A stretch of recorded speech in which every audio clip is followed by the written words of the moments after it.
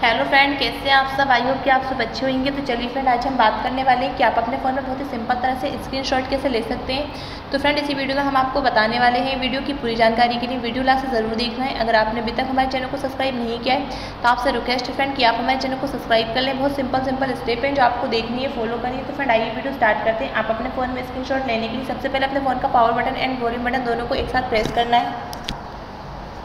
देखिए फ्रेंड यहाँ से आपका स्क्रीनशॉट कंप्लीट हो जाता है। यहाँ से आप किसी को शेयर भी कर सकते हैं। फिर यहाँ से अगर आप अपने फ़ोन में सेकंड तरह से एक स्क्रीन लेना चाहते हैं तो सबसे पहले आप अपने थ्री फिंगर से इस तरह से स्वैप करेंगे। यहाँ से आपका स्क्रीन शॉट कंप्लीट हो जाता है। फ्रेंड आप अपने फ़ोन में अगर फुल पेज का स्क्रीन लेना चाहते हैं तो थ्री फिंगर से स्वैप करना है। इसके बाद यहाँ से आपको स्क्रोल पर क्लिक करना है।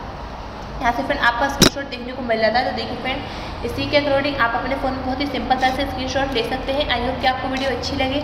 वीडियो अच्छी लगे तो वीडियो को लाइक करें शेयर करें। चैनल पर नए हो तो चैनल को सब्सक्राइब करें। मिलते हैं अगली नेक्स्ट इंटरेस्टिंग वीडियो के साथ। तब तक के लिए बाय एंड टेक केयर